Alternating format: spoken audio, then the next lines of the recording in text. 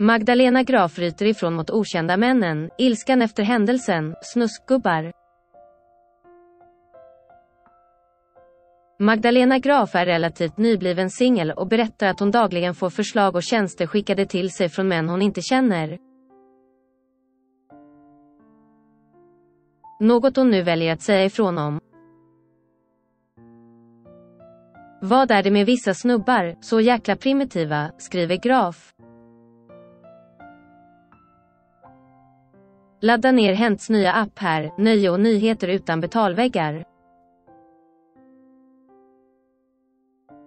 Magdalena Graf slog igenom med Duner och brak på 90-talet med systern Hanna Graf. Systrarna gjorde stor succé som både modeller och popduo. Idag är Magdalena en omtyckt tv-personlighet, företagare och influencer. Hon går dessutom in som singel 2023 efter uppbrottet från Louis Marti förra hösten. Men att hitta kärleken igen verkar inte vara på tapeten, nu ryter hon nämligen ifrån efter äckliga inviterna, som hon beskriver det.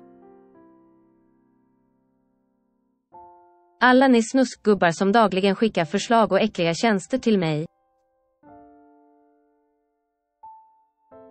Det är för sina följare på Instagram som Magdalena Graf väljer att lätta lite på hjärtat.